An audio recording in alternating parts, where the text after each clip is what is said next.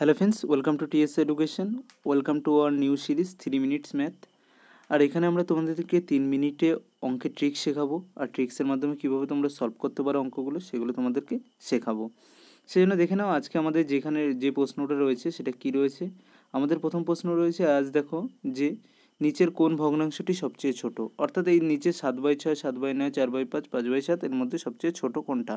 Smallest fraction কোনটা? তাহলে কীভাবে এগুলো করবে সেই ট্রিক শেখাচ্ছি সেজন্য অবশ্যই ভিডিওটাকে ফ্রেন্ডস শেষ পর্যন্ত দেখবে এবং ভিডিওটাকে শেয়ার করো। তাহলে আর দেখে নাও এটা কি রয়েছে আমাদের, প্রশ্নটা আমরা কীভাবে সলভ করছি। আমাদের কি রয়েছে? সাত বাই ছয়, সাত বাই নয়, চার বাই পাঁচ আর পাঁচ বাই সাত। তাহলে কীভাবে করবে? প্রথম কি রয়েছে? সাত বাই ছয় রয়েছে আর সাত বাই নয়। এই দুটো এইভাবে লিখে নাও। এখন এই দুটোর মধ্যে যদি আমরা করি, তাহলে আমাদের কি দেখতে পাচ্ছি? আমরা যখন এই দুটোর মধ্যে করছি, কি করব? আমরা এইভাবে ক্রস গুণ করব। তাহলে ক্রস গুণ করলে সাত নং কত হয়ে যায়? তেষট্টি হয়ে যায়।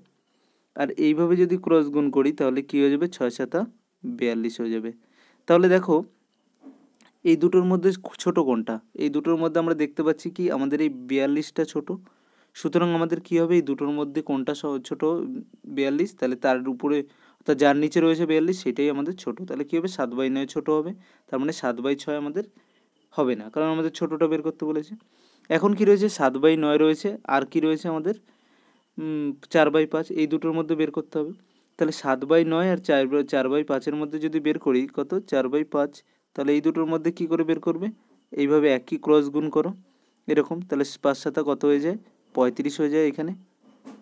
আর এইটা যদি ক্রস গুণ করে দিই, কত হয়? চার নং ছত্রিশ। এই দুটোর মধ্যে ছোট কোনটা দেখো তো। এই দুটোর মধ্যে যদি ছোট দেখি, তাহলে ছোট কোনটা হচ্ছে পঁয়ত্রিশ ছোট হচ্ছে। তাহলে পঁয়ত্রিশ ছোট কোনটা নিচে রয়েছে। পঁয়ত্রিশ সাত বাই নয়ের, তার মানে চার বাই পাঁচের থেকে কি? সাত বাই নয় ছোট। তার মানে চার বাই পাঁচ হবে না।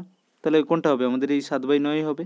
এখন রয়েছে আমাদের দেখো, এই সাত বাই নয় রয়েছে আর পাঁচ বাই সাত রয়েছে। এই দুটোর মধ্যে যে ছোট হবে, সেই সব থেকে ছোট, কারণ এইগুলো তো সাত বাই নয়ের থেকে বড় দেখছি। তাই সাত বাই নয় আর পাঁচ বাই সাতের মধ্যে যদি আমরা করি, বের করি, তাহলে আমাদের কোনটা দেখতে পাচ্ছি আমরা? যদি গুণ করি, দেখো এইভাবে ক্রস গুণ করো সাত সাতা কত হয়ে যায়? উনপঞ্চাশ হয়ে যায়। আর এইভাবে যদি গুণ করি, কত?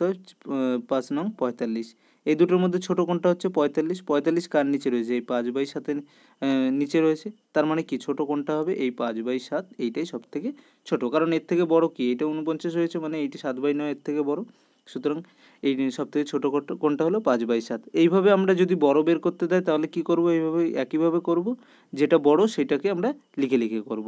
তো থ্যাংক ইউ ফ্রেন্ডস আশা করি ভিডিওটা ভালো লেগেছে। অবশ্যই ভিডিওটাকে শেয়ার করো।